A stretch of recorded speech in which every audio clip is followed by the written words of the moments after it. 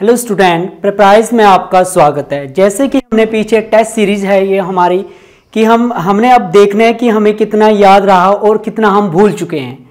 तो ये हमारा टेस्ट सीरीज़ है। एक टेस्ट है कि हम कितना याद कर सकते हैं और कितना भूल गए।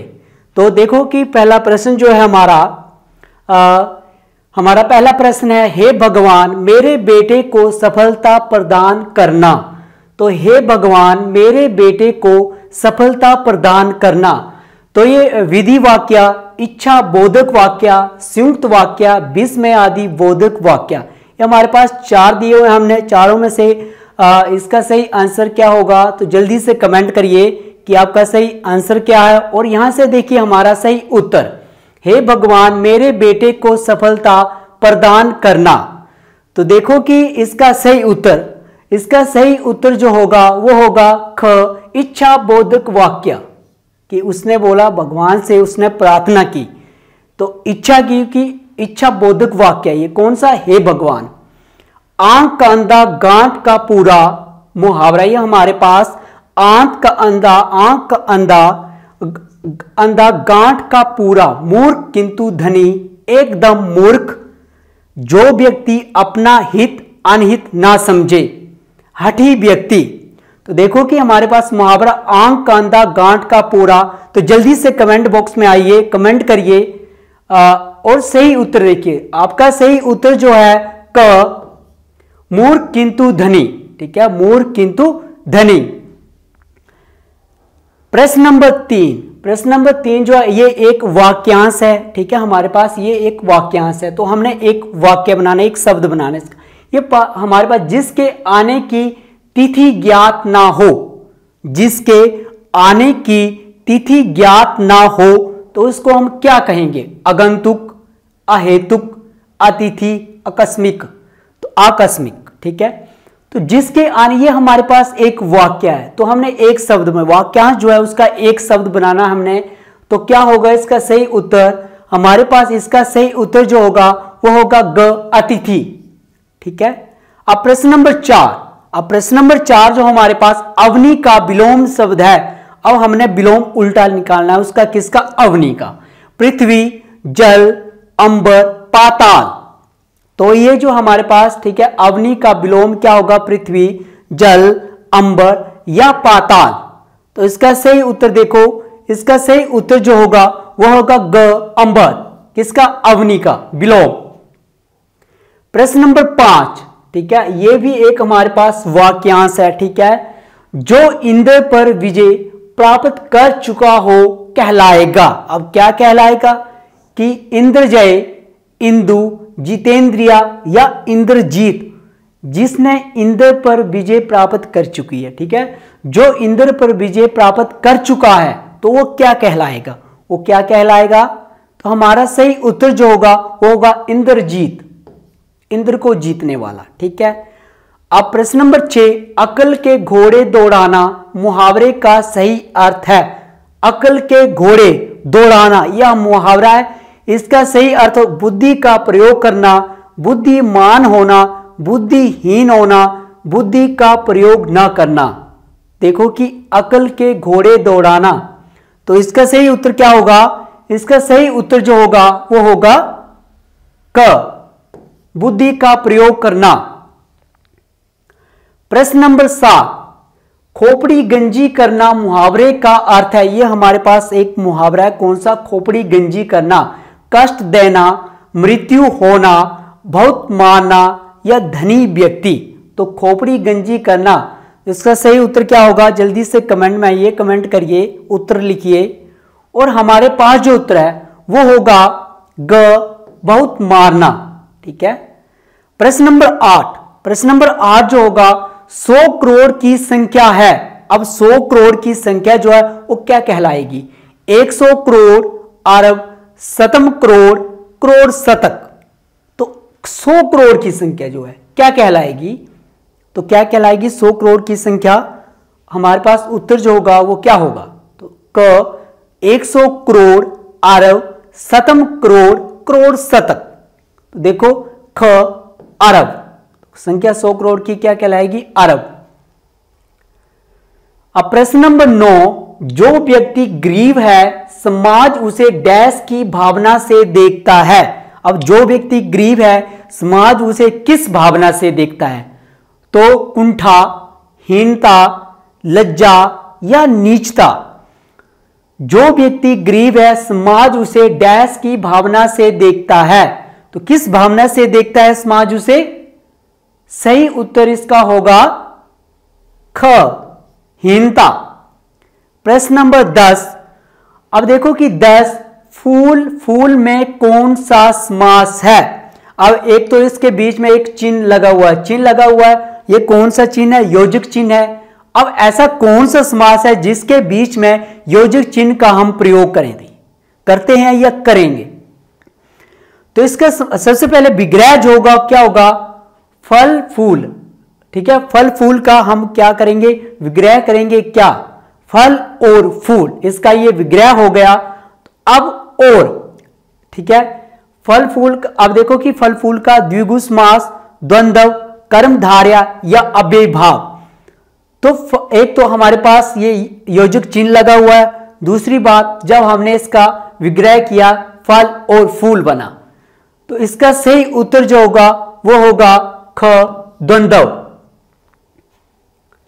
प्रश्न नंबर 11 अब प्रश्न नंबर 11 जो है, ठीक है, जो कोई उत्तर ना दे सके, जो कोई उत्तर ना दे ना लगा हुआ कि कोई उत्तर ना दे सके, लाजवाब, बाचाल, मूर्ख या मूड ठीक है तो जो कोई उत्तर ना दे सके तो इसका सही उत्तर क्या होगा? हमारे पास का सही उत्तर जो होगा, वो होगा क, लाजवाब। ठीक है? अब प्रश्न नंबर बारह। प्रश्न नंबर बारह जो है विस्मय मादी ठीक है? विस्मया। बोधक चिन्ह कौन सा है? अब हमारे पास ये चार चिन्ह लगे हुए हैं, ठीक है? तो पहला कौन सा है, देखो? दूसरा, तीसरा और ये चौथा जो हमारे पास, ठीक है? तो विस्मय आदि, हैरानी को उत्पन्न करने वाले वाक्य में किस चिन्ह का हम प्रयोग करेंगे, ठीक है? तो इस कौन सा आंसर होगा? इसका सही उत्तर क्या होगा हमारे पास? इसका सही उत्तर जो होगा ग। इस चिन्ह का प्रयोग करेंगे हम, ठीक है? किसमें? विश्व आदि बौद्धिक शब्दों में। प्रश्न नंबर तेरह। अब प्रश्न नंबर तेरह तिराहा समास है। अब तिराहा तिराहा। आगे हमने क्या देखा? हमने संख्या देखी। सिर्फ़ संख्या देखी तीर राहा के आगे हमने संख्या कौन सी देखी? ती संख्या देखी, सिर्फ़। अब ये पूरे के चार जो हमारे पास है, अब संख्या वाला, जिसके आगे सबसे पहले, ठीक है, संख्या दी जाती है, वो कौन सा समास होगा? ठीक है, जब हम इसका क्या विग्रह करेंगे तो तीन राहों वाला, इसका विग्रह क्या होगा? तीन राहों वाला, अब देखो इसका सही उत्तर क्या होगा? तो द्विगु, तत्पुरुष, अव्यय, ठीक है, अव्यय भाव, या फिर इनमें से कोई नहीं। तो इसका सही उत्तर क्या होगा? जल्दी से कमेंट करिए। इसका सही उत्तर जो होगा क, द्विगु, ठीक है? तिरा, तीन राहों वाला। प्रश्न नंबर चौदह बड़े बड़े खंभों में लोहे के रस्से बांधकर बनाया गया मार्ग अब क्या कहलाएगा, ठीक है? बड़े बड़े खंभों में लोहे के रस्से बांधकर बनाया गया मार्ग क्या कहलाएगा? क्या लक्ष्मण झूला, राम झूला, रज्जू मार्ग या पुल। बड़े बड़े खंभों में लोहे के रस्से। एक तो आपको पता होगा कि रस्से, अब रस्से को यहाँ पे क्या बोलेंगे हम, ठीक है? तो खंभों में लोहे के रस्से बांधकर बनाया गया मार्ग लक्ष्मण झूला, राम झूला, रज्जू मार्ग, पुल। तो इसका सही उत्तर क्या होगा? हमारे पास इसका सही उत्तर जो होगा, वो होगा ग, रज्जू मार्ग। रज्जू का अर्थ क्या होगा? रस्सी। ठीक है? रज्जू का अर्थ क्या होता है? रस्सी। अब प्रश्न नंबर पंद्रह। प्रश्न नंबर पंद्रह जो है, अपनी पगड़ी, अपने हाथ। ये एक कहावत है कि अपनी पगड़ी, अपने हाथ, लोकोक्ति या कहावत। तो पगड़ी स्वयं बांधनी चाहिए बांधनी चाहिए। दूसरे की पगड़ी में हाथ नहीं लगाना चाहिए। अपनी पगड़ी स्वयं उतारनी चाहिए। अपने सम्मान को बनाए रखना स्वयं से संभव है। तो देखो इसका सही उत्तर क्या होगा? तो लिखा, अपनी पगड़ी, अपने हाथ। तो ये कहावत है। तो क्या होगा? इसका सही उत्तर होगा, घ, अपने सम्मान को बनाए रखना स्वयं से संभव है। ठीक है? अपने सम्मान को बनाए रखना। अपना सम्मान क्या होता? है इज़्ज़त। ठीक है? को बनाए रखना स्वयं से संभव है। जो किसी के प्रति असक्त हो, कहलाएगा। प्रश्न नंबर 16 जो किसी के प्रति असक्त हो कहलाएगा। असक्ति अस्थावान आस्थावान। ठीक है? असक्ति आस्थावान, अनुरक्त या विरक्त। ठीक है? जो किसी के प्रति असक्त है, कहलाएगा। तो इसका सही उत्तर क्या होगा? सही उत्तर जो होगा, वो होगा ग, अनुरक्त। ठीक है? प्रश्न नंबर हमारे पास प्रश्न जो है, सत्रह जो है, घड़ी है। अब घड़ी जो है कौन सा है? तत्सम तद्भव देश विदेश घड़ी। अब घड़ी का प्रयोग तत्सम जो उसके समान तद्भव उससे उत्पन्न हुआ देश देश में जन्मा हुआ विदेश विदेश में जन्मा हुआ। अब देखो कि घड़ी तत्सम जो वाक्य होंगे वो होंगे क्या? आ, वो वाक्य संस्कृत से सीधे हिंदी में आकर उनका प्रयोग भी संस्कृत जैसा ही होगा। ठीक है? अब तद्भव जो वाक्य संस्कृत से आकर सीधे हिंदी में बन जाएँगे। ठीक है? हिंदी में बन जाएँगे वो वाक्य तद्भव। ठीक है? आगे देश देश में जन्म हो, जैसे हम आप, अपनी जो बोलचाल की भाषा जो है, उसका प्रयोग करेंगे विदेश, अंग्रेज़ी भाषा। विदेश में जन्मा हुआ शब्द। ठीक है? तो घड़ी देखो कि घड़ी कौन सी है? घड़ी है क्या? तत्सम तद्भव देशज या विदेश तो इसका सही उत्तर क्या होगा? इसका सही उत्तर जो होगा, ख तद्भव। ठीक है? प्रश्न नंबर 18 तो बोली में कौन सा प्रत्यय है? बोली। अब बोली में कौन सा प्रत्यय? आप पता है कि हम जो प्रत्यय का प्रयोग जो करेंगे, वो धातु या शब्द के बाद में करेंगे। ठीक है? और उपसर्ग का प्रयोग जो करेंगे हम, शब्दों से पहले या धातुओं से पहले करेंगे। तो यहाँ पे हमारे पास, अब देखो कि ये शब्द है, इसके लास्ट में हमने देखना है कि कौन सा जो प्रत्यय वो लगा हुआ, सिर्फ़ हिंदी में। ई, एरा, आस या इया तो देखो कि बोली में कौन सा प्रत्यय है तो जल्दी से कमेंट बॉक्स में आइए, उत्तर लिखिए अपना। तो इसका सही उत्तर होगा, क। ई ठीक है? अब प्रश्न नंबर 19 दाल में काला होना, संदेह की बात होना, सही बात होना, दाल खराब होना, शिकायत करना। अब देखो कि दाल में काला होना, संदेह की बात, सही बात होना तो ये हमारे पास एक कहावत है, लोकोक्ति है तो इसका सही उत्तर होगा क्या? तो देखो इसका सही उत्तर जो होगा, वो होगा घ, शिकायत करना। ठीक है? बीस, निम्न में से एक शुद्ध वाक्य छांटिए। ये पूरे के चार वाक्य दिए हुए हैं।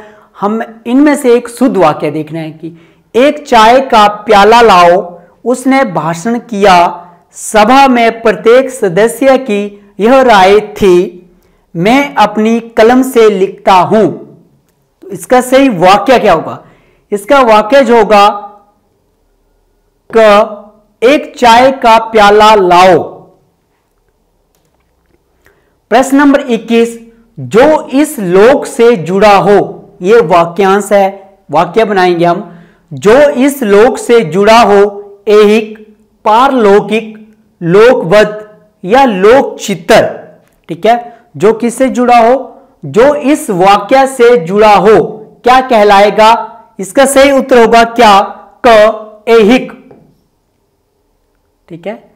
सरस्वती का पर्यावाची शब्द, अब हमारे पास सरस्वती जो है, इसका पर्यावाची, ठीक है? शब्द कौन? अंबिका, शारदा, रमा या उमा। किसका? सरस्वती का पर्यावाची, ठीक है? तो पर्यावाची क्या होगा? तो कमेंट में आइए, उत्तर लिखिए अपना। इसका सही उत्तर क्या होगा? इसका सही उत्तर होगा ख, शारदा, ठीक है? किसका? सरस्वती का। प्रश्न नंबर तेईस, मोटापा शब्द क्या है? मोटापा, सर्वनाम, विशेषण, संज्ञा या क्रिया, मोटापा। तो मोटापा है क्या? सही उत्तर इसका क्या होगा? ग, संज्ञा। ठीक है? धूम में बाल सफ़ेद सफ़ेद करना। अब धूम में बाल सफ़ेद करना। ठीक है? अनुभवहीन होना, बहुत चतर होना। ठीक है? कठिन परिश्रम बातें बनाना, काम कम करना। ठीक है? धूम में बाल सफ़ेद करना। तो क्या होगा? इसका सही उत्तर, इसका सही उत्तर जो होगा, क, अनुभवहीन होना। ठीक है?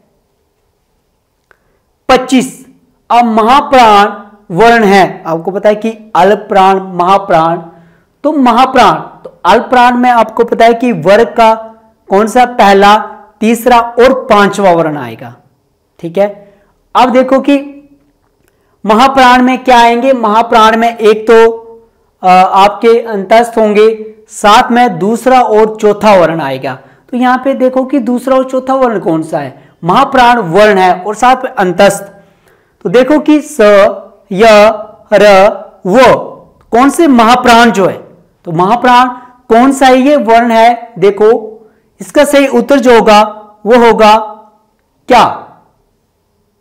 सही उत्तर होगा ख, य, ठीक है? तो स्टूडेंट ये था आज का हमारा जो हमने 25 प्रश्न जो किए थे, उसकी ये उत्तर माला है, ठीक है?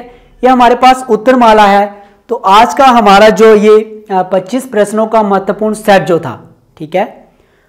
तो हमने बीच में वाक्यांश डाले, कारक डाले, और जो हमारे पास जो विशेषण थे, ठीक है? संज्ञा और साथ में हमारे पास जो मुहावरे थे, वो डालें, ठीक है?